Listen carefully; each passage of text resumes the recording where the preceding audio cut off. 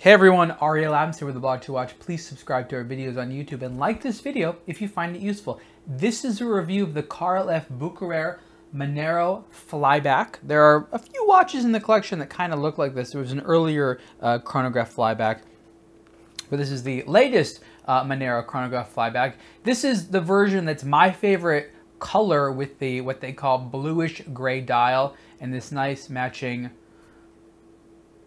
Boy, I'm trying to think of the correct color. It's not quite gray. It's not quite light brown or brown. There's a little, it's like a brownish gray alligator. It's actually quite nice. And this combination, I think, looks pretty handsome. Now, will you agree or disagree that this watch is, as according to Carl F. Bucherer's website, stylishly fast and furious? Um, apparently this watch is based upon early 1970s era racing. Um, okay, and that is, yeah, I can see that. I look a lot of the sport watches from that era just look like dress watches today, or they just look weird. So it either went like more formal and a little bit more elegant, or why do we need all that yellow and orange on the dial? And that's kind of from the 1970s. The movement is the CFB 1970. Uh, pretty decent looking. So again, this is a flyback bicomplex chronograph with a column wheel. This is a base Swiss Sellita SW500, which has been modified uh, apparently exclusively for Carl F. Bucherer. The modifications include um, a, a, range of little things, but again, the column wheel uh, system for the chronograph is one of them, um, as well as the flyback functionality. If you don't know what a flyback function is, it's very, very simple. When you have a chronograph, normally, I just started here, if you want to reset it, you would have to stop it first, and then you have to reset it. On a flyback chronograph, the system is just a little bit different. So rather than having to stop it first, I can just immediately reset it and start again. If you are in the habit of using a mechanical chronograph on a regular basis, flyback, is definitely useful. Um, I think a lot of people use these kind of for fun. So it's cool if you really into flyback. It's it's a neat feature to have. Um, is it the type of thing that you should go out there and look to spend a bunch more money on? Probably not, but all things equal, flyback is can be more interesting and fun than a chronograph with a non-flyback. Case is steel. It also comes in gold, 43 millimeters wide, water resistant to 30 meters, sapphire crystal, and a relatively attractive dial. One of the things that is a little bit an issue for me is legibility. If you look at the dial, there's a clear emphasis on the chronograph hands. The chronograph seconds hand and the chronograph minute hand, as well as the running seconds hand, um, are white, and there's a great level of high contrast. These are, for all intents and purposes, really good hands. I wish I could say the exact same thing about the hour and minute hand. Now, you can see them, and they are a very elegant shape. They're a Dauphine, Dauphine shape that have a cut in the middle, which makes them skeletonized. But because they're polished on a polished surface, guess what happens? It could be worse, but they're definitely they definitely blend in a little bit. So what could the brand have done to make this better? Well, I get that they wanted to match to the hour markers, but what they could have done is take a white strip and fill it in that skeletonized element so that that white matches everything else and they would be a lot more legible. And if they wanted to, they could put a little bit of white on part or all of the uh, polished hour markers.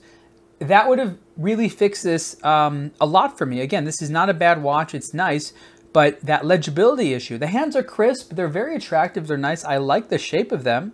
They're the right size, but you do see how all polished hand, even if it's a, if it's a relatively flat polished hand like that, can cause issues. So again, not the biggest thing in the world, but it's something that, of course, I look at because I'm interested in, in very effective hands. I think that's kind of a big deal. Um, Got to get the strap on here. It's one of these weird straps. It has, well, let me just show you here. It's Once you get it, it's fine. But so this is meant to replicate the look of a normal buckle, but it's not a normal buckle because you have this deployment system here, right? And it also has this little pin. So normally that little pin would go in and you'd, you'd be done.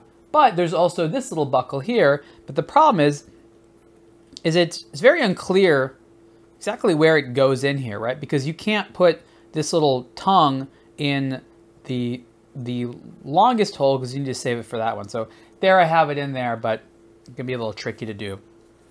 So let's put this on again. This is 43 millimeters wide. This wears like a large 43 millimeters. I have 43 millimeter watches that don't, oh, back in focus, don't look as big as this one. I think it's because these lugs are like really long.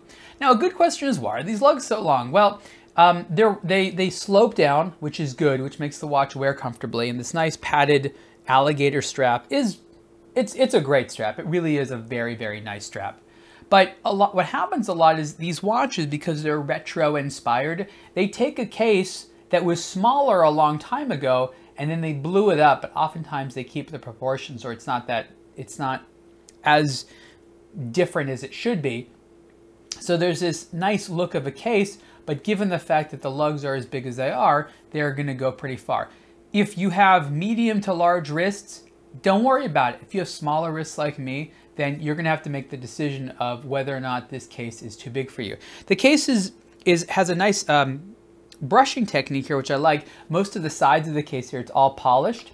And along the flanks here on the top part is a very attractive brushing finishing that I actually think is, is, is nicely done. So this is overall a pretty well re refined piece. It has an exclusive movement that I don't think you can find anywhere out of the Manero flyback collection uh, by Carla Bucherer. Again, it's, a, it's apparently a, a, collaboration with Sellita um, as a modified version of the SW500, which is a, like I said here, it's a 4 hertz, approximately two day power reserve uh, movement. 30 minute chronographs, so one is just here, obviously going to be the running seconds.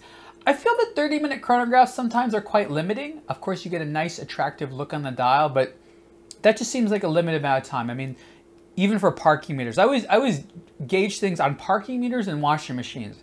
And parking meters and washing machines typically have a longer than 30 minute cycle, right? So these days, that's something that I use chronographs a lot for is measuring, uh, especially like a rotating, you know, timing bezel, like on a diving watch that's 60 minutes. So if that thing offers more functionality than this, this is going to be for people that are doing things obviously under uh, 30 minutes. If you're racing, then okay, you know, you're racing around a track and you still want to use a mechanical watch and you want to be stylish, I'm sorry, stylishly fast and furious, then yes, you can wear this and do that. But um, I don't know that a lot of people that are actually racing or using mechanical chronographs. But if you are a Carla Bucherer man, then you too can, uh, you, you can do that.